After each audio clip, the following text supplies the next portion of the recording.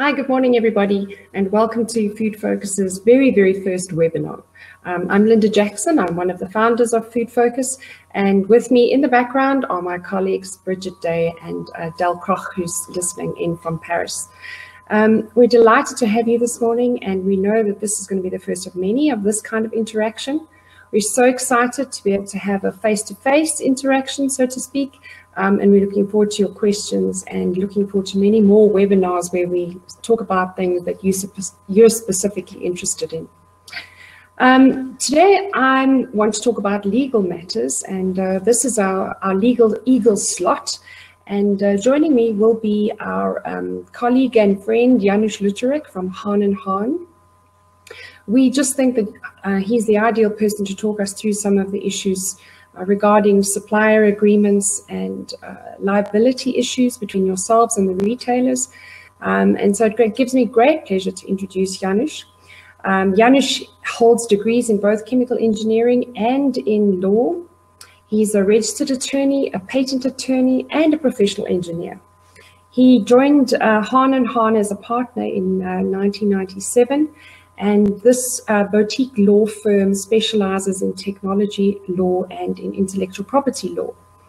He's a custodian member of uh, SAAFoST, and he also sits on the council of the FSI of the Consumer Goods Council, and he actively participates in the food legislation advisory group to the Department of Health. He's assisted many listed companies um, as well as SAAFoST with their various foodstuffs and Cosmetics and Disinfectant Act and the regulations, the submissions that they've made to the Departments of Health and the Department of Agriculture. And uh, he's also been extensively involved in the GMO debate and the issue of advertising to children.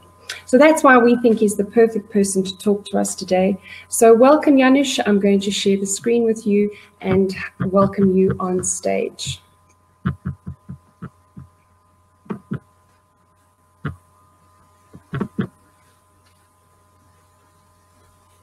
Welcome, Janusz. Good morning. Hi, Janusz. How are you? All right, and you, Linda? That's great. Thank you so much for joining us. Janusz, um, we settle in for a morning's discussion on liability issues and uh, the supplier agreements with the retailers and uh, suppliers. Um, I've uh, I've always been a little bit concerned that the suppliers to retail are signing contracts that they don't necessarily appreciate the gravity of, um, or they don't have a contract with their uh, with their customers, and are so therefore exposed when it comes to any indemnity issues or any liability issues. So I just wanted to get sort of some some input from you with regards to how should a supplier approach a contract between themselves and the retailers, and what should they be looking out for um, in this contract? Uh, now, this is a very important topic. I, am approached all the time by companies present me with a, a supplier agreement that they've been given, and they were told simply, if you want to keep supplying us, please sign this and return it by a certain date. Yeah. What is quite amusing is that quite often They've been supplying for years already without such an agreement. Absolutely. And continue supplying while the agreement is still not signed and is waiting to be signed. But yes. be that as it may, the agreements are normally quite voluminous, complicated, and would create liability for a party which they're not even aware of. Yeah. This type of agreement is often then given to a buyer or some marketing person, and they are then told, let's get this signed and return it to us. And they don't really understand the importance and the effect of having signed such an agreement. Absolutely. Agreements are also common within a supply chain. It's not always only between the supplier and the retailer. But you'll find the supplier will go to their ingredient suppliers and want them to sign similar agreements.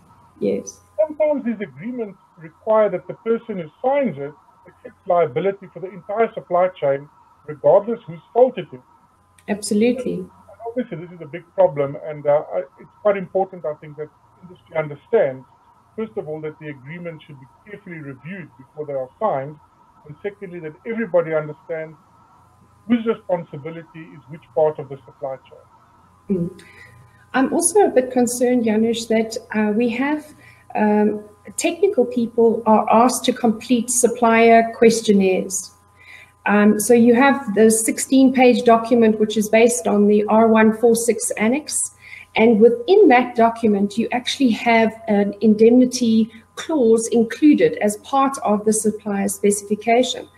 So over and above any contract which may exist and may be signed between the salesperson of the company and the and the, the customer, you also have these documents floating around. And as you say, they're going right down the supply chain. And, and I'm just a little bit concerned that these are also being seen as addendums to a contract. Well, got to first tell you that my standard standing advice to all my clients is simply delete those clauses in Annexure 6 of R146. The Department of Health has no place to be prescribing who is liable for which event in the supply chain.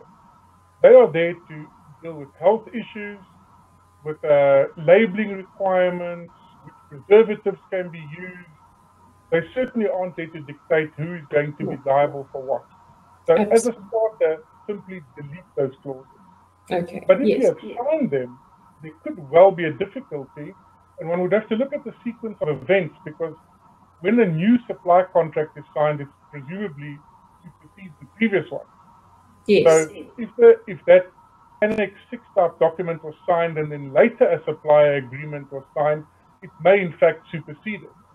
Yes. that will depend to some extent on the wording of the second document.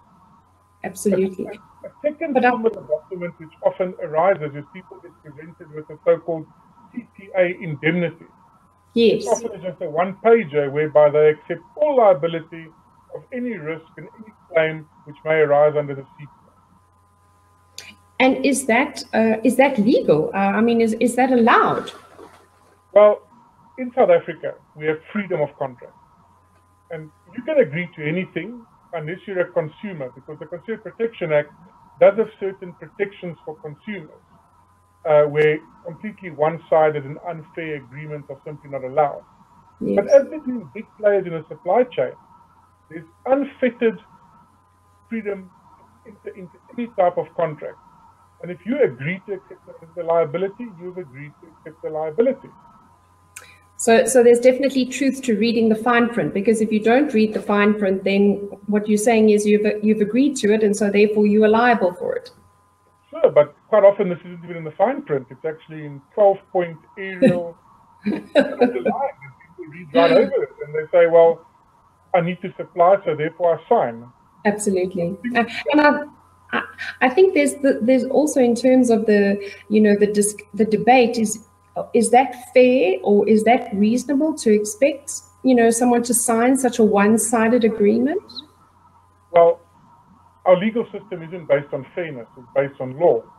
So although it is unfair, and if you want to have an equitable supply chain and a relationship with your suppliers, you should actually have an agreement where each party takes responsibility for their own actions or omissions. But the reality is, of course, that the lawyers in the, in the big companies each want to protect their company maximum sure. possible. Sure. Uh, and that is why read the way big guy, in fact, carry the liability regardless what happens. There's, there's always got to be somebody who's the fall guy. Um, we've got to be able to blame blame someone at the end of the day. For companies involved, there's an ingredient supplier who's supplying to a manufacturer, who supplies to a distributor, who supplies to a retailer. There are numerous such agreements, each one purporting to, to put the liability ability on the other. Where there's all these contracts in between, each one blaming, each one putting the blame on the other guy. Absolutely. Janusz, before we go on, we've lost you. Um, we've lost your picture. Oh. Um, I can see you. I can still hear you. I can see you clearly, and my, my picture seems to be fine. Can you not see me anymore? Never mind. Let's move on to the slides. Um, I know you've got some slides that you wanted to share with us. I'm just going to put on the application sharing. Okay, it's coming up now. Do you see it? I see them. Thank you, Janusz.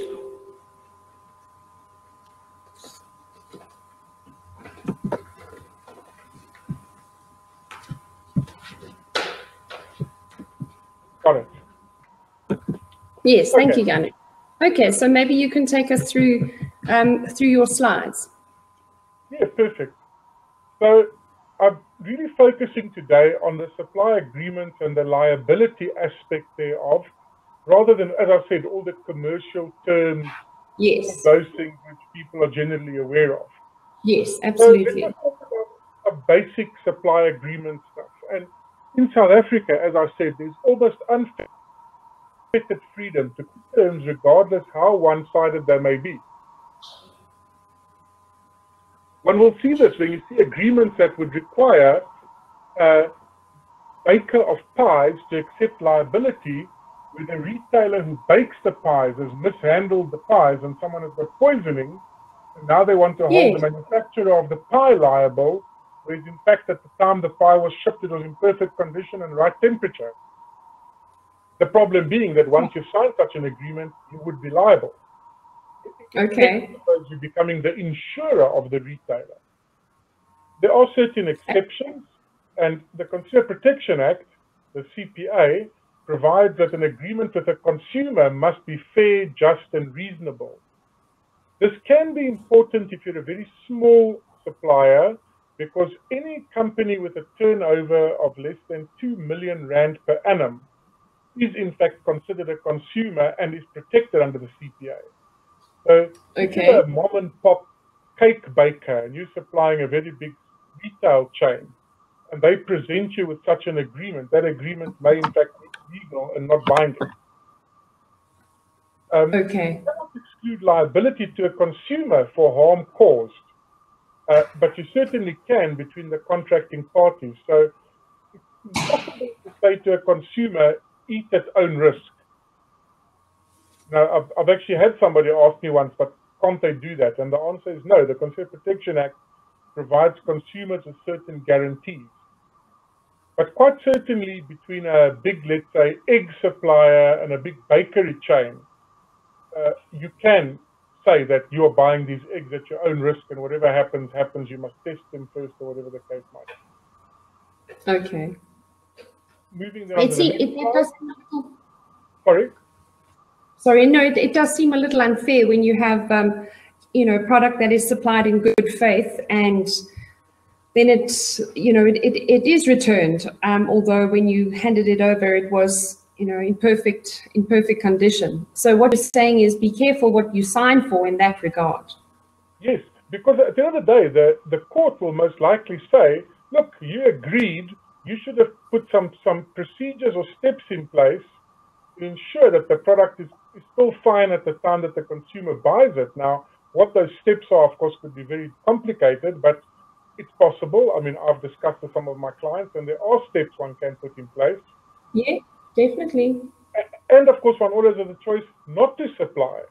So if sure. you find that the retailer you are selling to is engaging in risky business, then you may say, well, look, I have a reputation to protect, and as well as you, you are now trying to make me liable for your risky behavior, unfortunately, under these conditions, I won't be able to supply you. Sure, sure. I, I, if only it was so simple. okay, so now you take us through some terms that we that we need to be aware of when it comes to the fine print. Yeah, sure. And you know, some words which on the surface don't seem that important have huge implications. So when you see in a contract it says the supplier shall indemnify the retailer, blah blah blah well, you need to understand that indemnifying means that you will pay all the liability, all the damages or losses of the party being indemnified. It's a blanket thing. You could be responsible for all the stock claims by consumers. Laboratory huge. Another one that comes up less often but does come up from time to time is this thing of an obligation to defend, which says that if there should be claims against the company, you need to pay for the legal defense of the company. Now, often that is bundled together, so to speak, with the indemnity clause. It says you will indemnify and you will have the obligation to defend.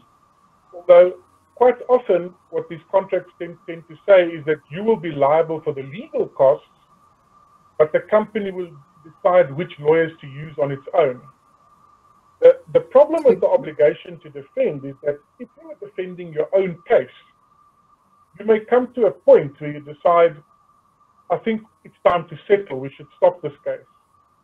But okay. when you are paying to defend somebody else's case, they say, look, let's see how far this goes. Maybe we get everything, maybe we don't, but why stop now? We're not paying the legal bill. Sure. oh my gosh, how long is a piece of string? No, exactly, exactly. The, the issue about being reasonable doesn't come up. And bearing in mind that if you then no. the case, they're indemnified anyway because you've given them an, an indemnity. Um, yes. An important thing that comes up in many contracts is this issue of a warranty. And often you'll find that there's a clause and it says the supplier warrants the following. And then it lists five or ten things which the supplier warrants. You've got to be very careful because the normal level of, of uh, for liability in our law is that you shouldn't be negligent. You should, yes. you, should, you should be aware of things that are foreseeable and they may lead to damages and you would be liable for those. Once you've warranted yes. something, you become strictly liable. No negligence is required. It's simply, was that particular clause breached? Yes or no? And if the answer is yes, you are liable. It doesn't go into the, the causation issue.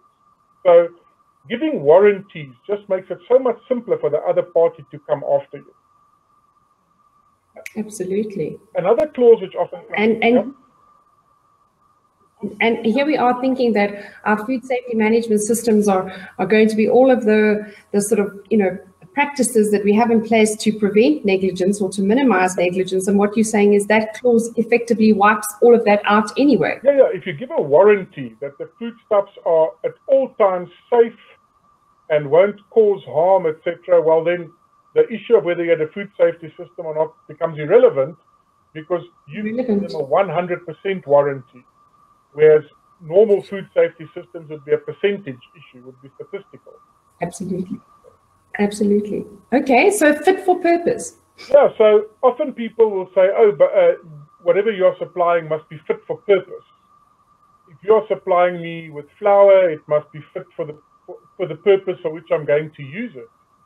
But quite often what you find is that although it requires that the product supplies be fit for purpose, the purpose is not stated or it's stated so generically that there's no way you could have you could have given such a such a promise because you don't know what they're going to be using it for. They could basically use it for any purpose within the food industry. When the cake flops, so to speak, they then turn around and say, well, your flour wasn't fit for purpose. You say, well, I didn't know you were going to bake a cake. I thought you were going to make a biscuit. And that mm. also liability arises then for lost turnover, lost productivity, etc. Goodness, okay. A clause which comes up quite often within supply chains, especially where companies are running on absolutely minimum stock. They don't want to be holding any stock because obviously that's just in time tied up. Yeah. So they put into the contract that time is of the essence. And then they often have a penalty clause, which says that if you don't supply within a certain time, a penalty starts running. Uh, once you've signed the time is of the essence clause, all your ability to plead inability, etc., with, with the exception of possibly flooding and acts of God, are all excluded. The time is of the essence binds you in iron handcuffs to the timelines that you have promised. And all the problems which could arise become your problems, not the problems of the party that you are supplying. Goodness. And then, of course, there's penalty clauses for breach, which include breach of yes. like time of delivery, but there are many other things that can be breached. And some that I've seen can be very onerous, where if you promise to deliver something and there's a 5,000 Rand a day penalty, and you're two weeks late, the penalty could exceed the value of the goods that you were going to supply, or certainly the margin on the goods that you were going to supply. So you actually end up supplying the product essentially for free. For free because of the because of the penalty clause. The penalty okay, so those are very sorry. I'm just thinking. So those are very, the very very important clauses that we need to that we need to consider. I think um, we're now talking about a, a, an agreement between the supplier and um, uh, the retailer, but what about agreements between suppliers and suppliers? Um, you know, I'm, I'm thinking that you would need to consider this all the way down the supply chain.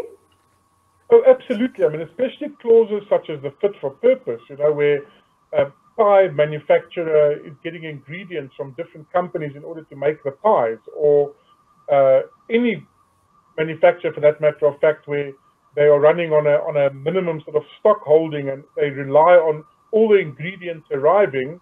Now one doesn't arrive, so they can't produce anything, and there's a time is of the essence yes. clause and a penalty clause, for example. Absolutely. Absolutely. Okay. All right. So, you, in terms of your suppliers, if I'm supplying ingredients, the next slide you refer to talks about back-to-back agreements. So, so that's where we're trying to, I suppose, find the fall guy in the supply chain. Um, make make sure that everybody's covered, so that uh, there's not somebody who who's exposed to the potential liability. Should there be a, a, a, a you know a claim from the consumer? Yes, absolutely. So what I tell my manufacturing type clients is I say, look, you're going to have to have back-to-back agreements with the people who supply you because if a problem arises, you don't want to be the one left holding the hot potato. Yeah, because, absolutely. Because whereas the Consumer Protection Act gives the consumer a, a lot of rights in terms of being able to claim for damages, etc., without having to prove negligence, that is not the natural position between suppliers. So what happens yes. is that supplier who didn't who didn't act negligently may not be able to claim against the person who supplied him who did act negligently, unless there's a contract in place that's got the right sort of provision. So, as I said, okay. everyone is trying to pass the potential liability onto the next person in the supply chain, and you yes. really understand that starting at starting with the CPA, the retailer is liable under strict liability to the consumer for any harm caused, then simply wants to hand off that liability to the person who supplied them.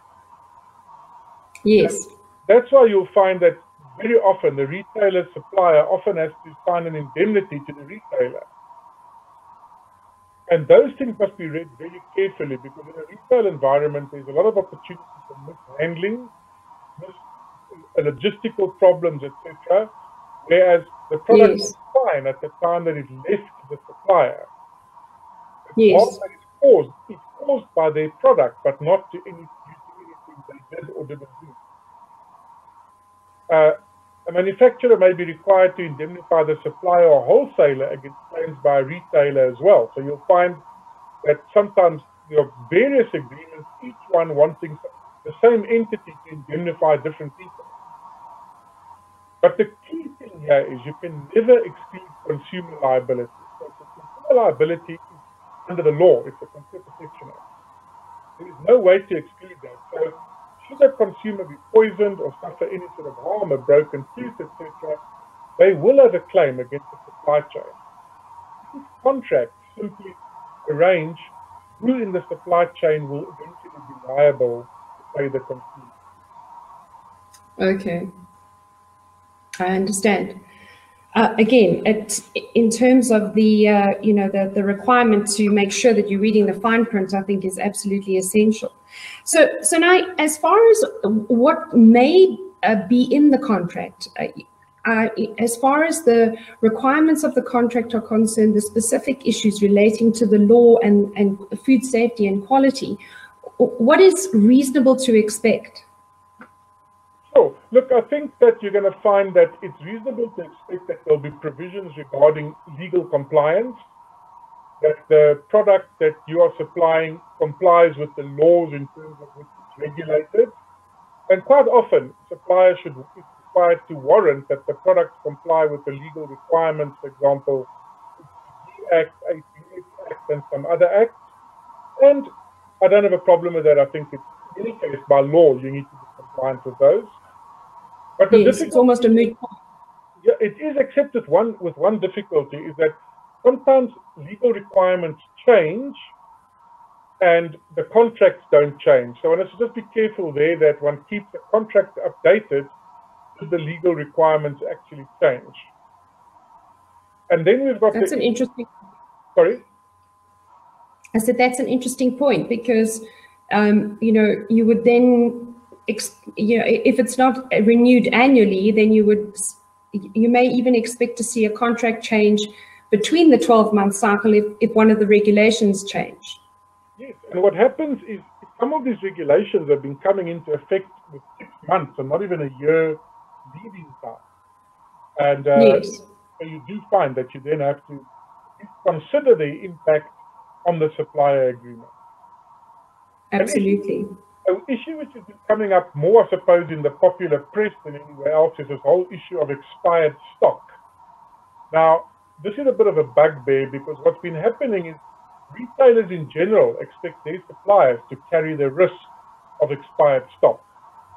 So the yes. general principle, as far as I see it, is that the retailer, the, the manufacturer simply has to come and uplift expired stock and take it away and carry the loss. And yes, that seems to be that seems to be the current practice. It is a common practice, and I think that manufacturers and uh, suppliers, with the current economic uh, uh, climate and the price of food foodstuffs and so on, possibly need to rethink all of that and say, look, you know, whose responsibility is it to rotate stock, to estimate stock, etc. We share that risk and not simply just accept the expired stock is their liability. Yes, no, I agree. Uh, I, I agree. I, I think it is definitely, you know, there's there's definitely more responsibility on the side of the retailer to manage the stock that they buy because, you know, they, they are doing that based on sales forecasts. There are replenishment reports. Um, and so that system should be monitored more closely.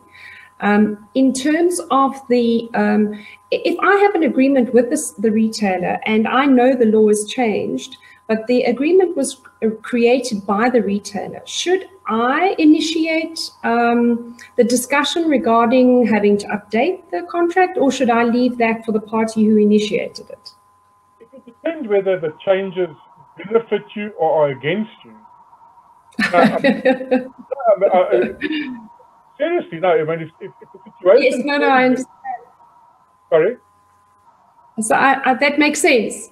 Yeah. No, if the if the regulation changed and it now prejudices me, I will immediately go and say, look, we need to re- renegotiate. But if it favors yes. me, I will leave it and let them wake up to it and come to me. and then the the last point is with regards to um, the, uh, uh, you know, something like the APS, um, at this point in time, I know that that's a very contentious piece of legislation. Um, and the, you know, just because it's all of a sudden being enforced, um, whereas previously it wasn't enforced, that, that doesn't mean there's a change in a contract. It's still a, a requirement of the law. Sure. The only thing that I think in terms of that particular point that you've just raised is that when the assignees under the APS Act start billing people for their services, there's going to be a whole rash of renegotiation of these contracts because who's going to Absolutely. so Absolutely. retailers want their suppliers to pay for it, but the inspections are being done at the retailer. Yes. So it's going to be quite tricky as to who pays for what and how do you apportion those costs. Yeah, absolutely. I, I, look based on what I heard recently, uh, attending a workshop with one of the assignees. Uh, the decision has been made that the inspections will be done at the facilities where they're manufactured. Um, so I think from that perspective, the the retailer may be may be resisting any additional you know costs because it will be done at the manufacturer, not at the distribution centers. But I think time will tell as uh, as these things are are, uh, are rolled out. What about quality and safety issues? Um, how do we address those in the contract? Well, I think this is almost the key of the whole contract: is that one has to have product specifications which are clear and not left to be sorted out later. And you'll note I put in brackets never, because Absolutely. I've dealt with contracts that have been in place for years, where yes. sure where the product specification was supposed to be laid out was never filled in. It says yes. we are buying product so and so as per annexure B. It turn to Annexure B and it's blank. Yes. Signed it. Everybody signed it from both sides. So it's really critical because unless you know what the product specification is, how do you know that you're complying with the supply requirements? And how can a retailer reject the product as being non-compliant there was no product specification? So the product Absolutely. specifications define the quality and are critical to any supply agreement. And I'm quite amazed at how, how either they incomplete, insufficient, or simply missing in many cases yeah in my in my experience janusz i find them as additional documents so so that's you know 16 page addendum 6 um, format which is, is is being used most of the time now that document is separate from the trade agreement. Um, and if i supply 15 products there'll be 15 of those hopefully but those are separate. And in, in my experience i i've not seen them as a mentioned as an addendum to the trade agreement, which what, you know, if, if what you're saying is, based on what you're saying now, it should at least then be referenced as an addendum if it's not included within the body of the contract. No, absolutely. The fact that you've got a separate document which in no way references the supply agreement and the supply agreement doesn't reference that document, it would have no bearing on the interpretation of the supply agreement if there was ever a dispute. But you could suddenly find that some of the protections that you thought you had built into the supply agreement don't come into play. So I think it, absolutely at the very least, I agree with you. You should reference it into the actual supply agreement. Yeah, Abs- absolutely, absolutely. Okay, now uh, I, the the food safety audits are obviously another hotly contested issue because of the cost and the disputes. Um, that should also be included in the agreement. At the very least, what should be included in the agreement is the fact that there will be such audits, uh, the, me the mechanism whereby they will be invoked, how many there will be, and of course, who has the liability for payment. Um, and you can have that the routine ones are paid for by one party, but ad hoc ones can be paid for by the defaulting party. So if I okay. look, I need to have another audit on you, and then it turns out you passed that audit, then I must pay for it. You failed that okay. audit, then you must pay for it. So those types. Okay. But you're not going to go into the detail of the audit as such, but simply into how, when, how often. Quite, quite, quite similar to the discussions that, we, that have been going around around the assignee situation. Yes, yes, yes, absolutely, absolutely. And and then of course the the the caveat being that it's all for the consumer, and so it's not unreasonable to um, you know specify that products have to be safe. No, absolutely. So the Consumer Protection Act in any case guarantees to the consumer that any product that they buy will be safe and of the law says good quality. Let's just say sufficient quality. Yeah uh, yes. Therefore, be the, the company buying that could reject the product if they weren't, even if it wasn't in the contract. But of course, it's quite obvious that every contract should have provisions regarding that all the product supplied shall be safe and of good quality. Be safe. Absolutely. Now, what about recalls? Um, because this can obviously be quite expensive. Um, and, and who's responsible for paying for the recall if, if there's a need for a recall? That becomes quite complicated because we don't have a unitary recall system in South Africa. Uh, different suppliers have their own recall systems, retailers have their own recall. So therefore, it's important that in the contract, one, def one defines the product recall triggers and the protocol okay. followed so that everybody's on the same page.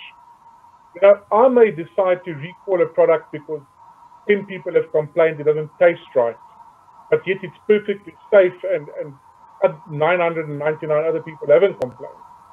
Am I then yes. entitled to order a recall and then hold you liable, even though you believe there's nothing wrong with the product? So yes. one does need to have clearly defined recall triggers and protocols in the in the contract, which makes it very clear who pays for the recall and also who pays for the stock losses. Now yes. we are talking some very serious amounts of money. Absolutely. Um, there's also the issue of damage to brands. And that damage can be either to the manufacturer or even to the retailer that's selling the product of a manufacturer. And obviously more so in the case of house brands, where the retailer is selling something made by a manufacturer but bears the name of the retailer.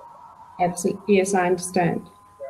And then obviously one has to have a provision. Who takes overall responsibility for the recall? Who deals with the National Consumer Commission? Who deals with the press? Who handles claims from the public?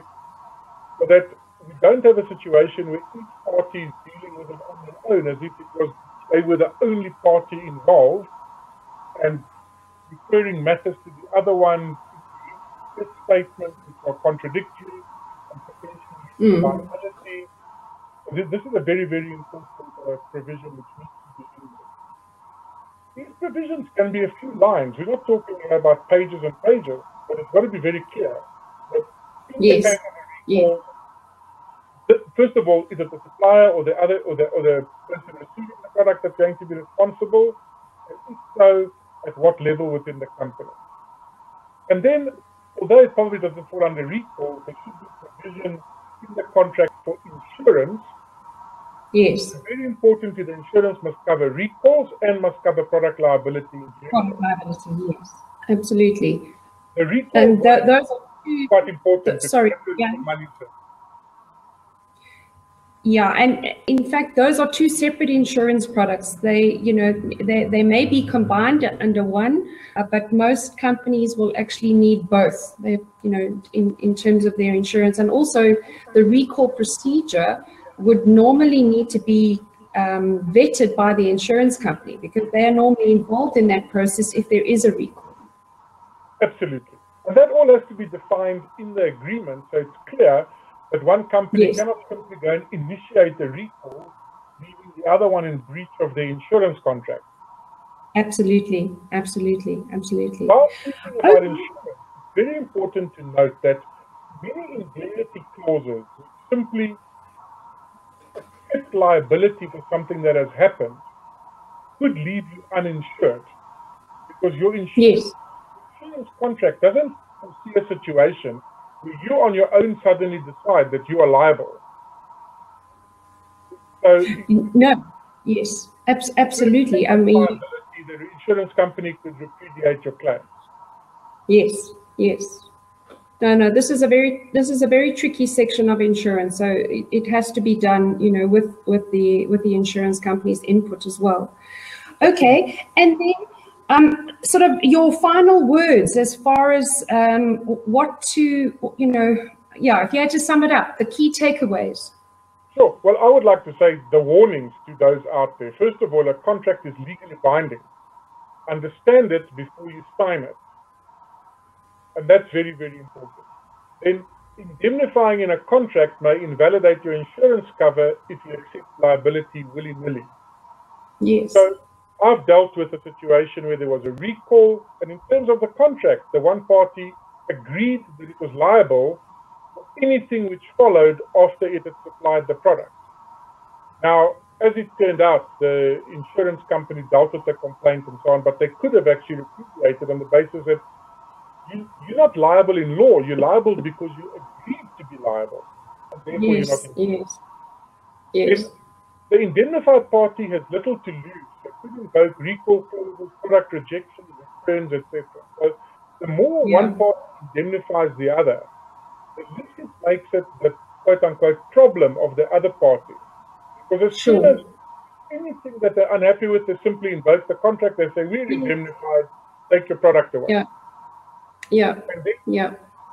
I suppose finally, because I've seen this a few times, do not warrant things you know you don't comply with somewhere in the supply agreement will be a clause about all products supplied are GMO free. Meanwhile, you are buying maize on the open market, you're getting soy from Argentina. no one's checking it at all. But, but no. you're, you're, guaranteeing it's all GMO free. Yes. And there are many such yeah. circumstances. So one has to be very careful. No. Don't warrant things you know you don't comply with. I suppose I should extend this or don't know whether you comply with. Yes, yeah. It, it, rather check before you sign. Absolutely. Okay, no, that's uh, that that makes sense. Uh, strong words, and I think if I had to um, sum it up, it would be: uh, don't read the contract on your own. Rather, get legal advice before you sign anything. No, absolutely. I mean, it goes right down to buying a house and signing the bond at the bank. You know, there's a lot yes. of things in there which seem quite harmless at the time that you sign them, but when the correct situation, when they're not the correct, when the right situation comes around, those clauses can either be there to protect you or to beat you. Absolutely. Thank you, Janusz. I'm switching back to you. Um, we would like to thank you so much for your time and thank you very much for your advice. Uh, I think it uh, was very uh, eye-opening um, and uh, I'm even more worried than I was before. Um, we had this uh, presentation. So just a, a comment to everybody out there, just to make sure that you, first of all, have a supply agreement. Uh, and secondly, make sure you read what you've signed for, uh, because uh, the fine print and even the sort of main headings of the contract could be uh, very, very serious if you are faced with this liability situation. We'd like to invite anyone out there, if you have any queries, please won't you engage with us on our forum. Um, you're welcome to log your questions and uh, we will respond to those questions. Uh, thank you very much for joining us, Janusz. We really appreciate your time um, and we look forward to the next episode, uh, which will be coming up in the beginning of September. Thank you very much. Have a good day, Janusz. Thank you very much, Linda. Goodbye. To everybody out there, thank you for joining us. We'll see you next time.